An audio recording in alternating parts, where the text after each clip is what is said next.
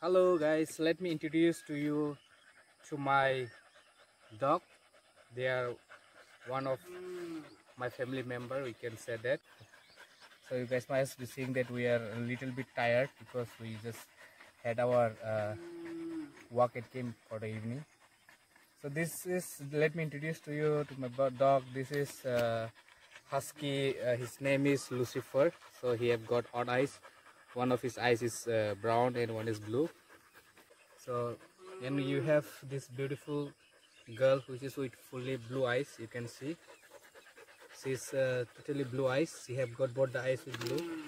Her name is Tyra. She also she's uh, one one and a half year old.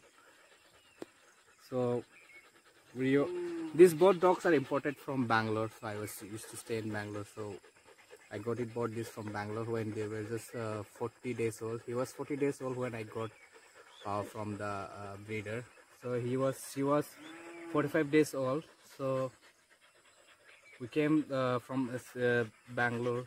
So right now we are staying in Tripura. You can see the weather is uh, hot, but still to uh, keep them they have we have cooler and fan so they can stay.